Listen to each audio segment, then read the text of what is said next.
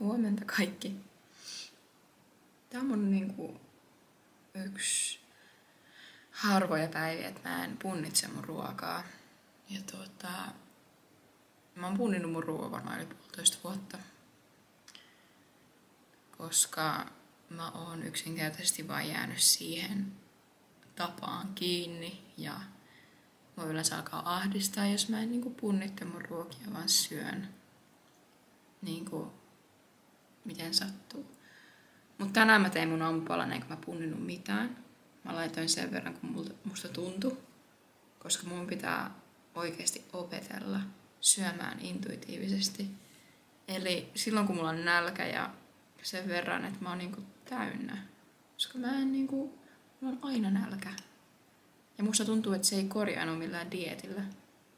Vaan sillä, että mä alan syömään sen verran, kun musta tuntuu. Tämä on aika pelottavaa, voin kertoa. Mutta mä haluan parantua niin kieroutuneesta suhteesta ruokailuun ja sen, että miten mä näen kaikki asiat kaloreina ja numeroina. Mä oon alkanut myös kirjoittaa päiväkirjaan. Mä ajattelin, että se ehkä auttaisi mun ajatusten kanssa. Mä oon tajunnut sen, että vaikka mä olen dietillä ns. melkein koko ajan, niin mä vaan oikeastaan lihaan koko ajan enemmän ja enemmän. Ja painoa tulee. Ja se johtuu yksinkertaisesti siitä, että kun mä oon koko ajan aliravittu, niin sit mulle tulee niitä heikkoja päiviä, milloin mä syön itteni ihan täyteen, koska mulla on niin kova himo ja nälkä. Mun ruokahalu on aivan järjetön. Mä harvoin tunnen semmoista täy, täytenäisy, täyteläisyyden tunnetta, että mä olisin niinku täynnä. Nyt mä tunnen itse asiassa, kun mä söin ton puuron, joka oli kaksi kertaa isompi, mitä mä normaalisti syön. Tällä hetkellä mä oon täynnä. Mä tiedän, että mulla tulee nälkä kolmen tunnin päästä. Mutta se on tehtävä. Se on tehtävä. Tunnin päästä mä lähden kävelylle. Se on mun joka aamunen rutiini ja mä rakastan sitä. Suosittelen käymään ulkona, vaikka se onkin niin simppeli juttu. Mutta se oikeasti boostaa mielialaa tosi paljon.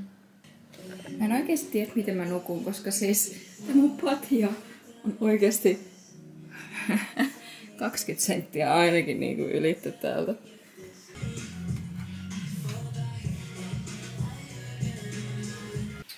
Tosi hieno pyyhe tuolla. Mä oon lähtemässä tänään tota, Seinäjoelle mun porukoita katsomaan ja kavereita. Siellä on myös hip-hop-festarit. Mä en ole mikään superfestari-ihminen, mutta kyllä mä varmaan niin käyn siellä. Juu nyt mä oon menossa kävelylle. Ja mä yritän katsoa niinku teitä niinku sinne kameralinssiin, kun mä meinaan koko ajan katsoa tuosta saakelin viereisestä näytöstä. Mä oon ihastunut tähän My Protein tämmöiseen ulkoilutakkiin.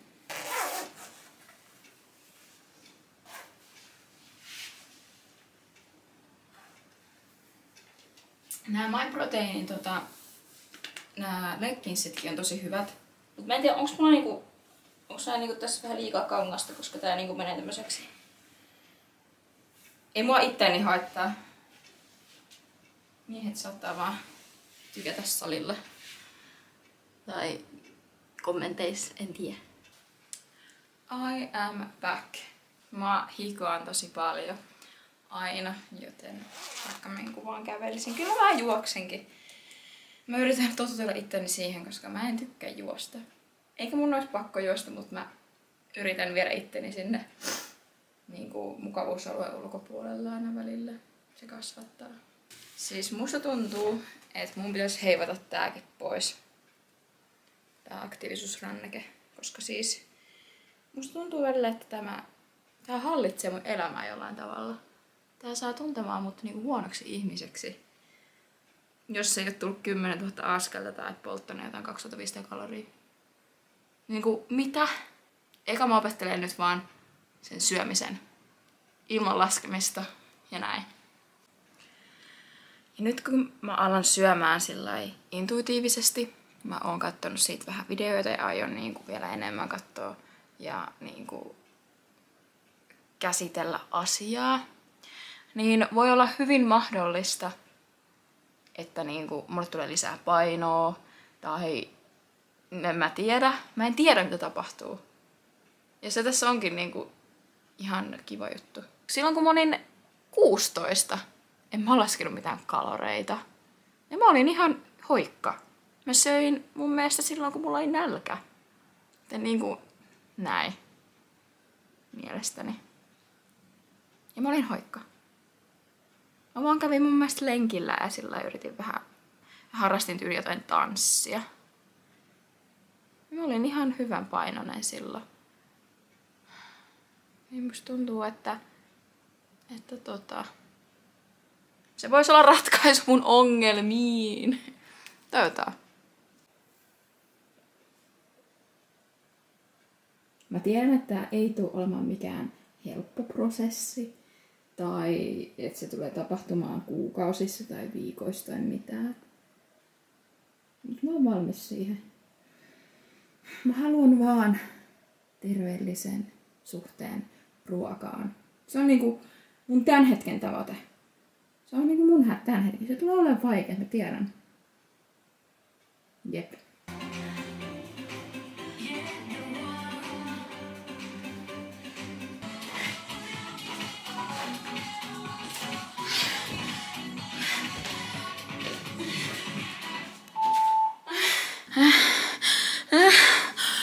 Tähän sopisi se, se koira-emoji,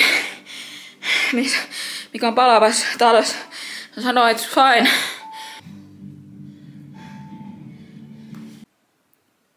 Tässä on nyt mun lounas. Mulla jäi vielä pannulle, että jos mulla on nälkä, niin mä voin hakea tätä lisää. Ja mun iskä soitti äsken, koska mä oon menossa katsomaan mun porukoita. Ja isä sanoi, että,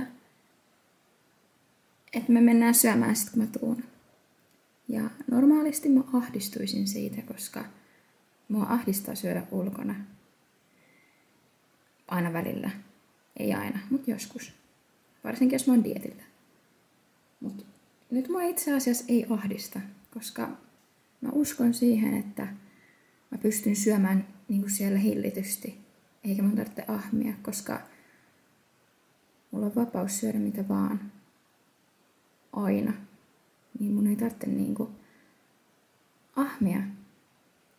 Mä oon joutunut tota, tämän sienen niin leikkaan näin, koska se oli niin meikkivoiteessa, että sitä ei saanut enää pestyä. Niin mä leikkasin vaan sen osan pois. No niin, vihdoin vähän materiaalia, missä mä oon laittautunut. Tulee kyllä paljon parempi fiilis aina itsestään, kun laittautuu. I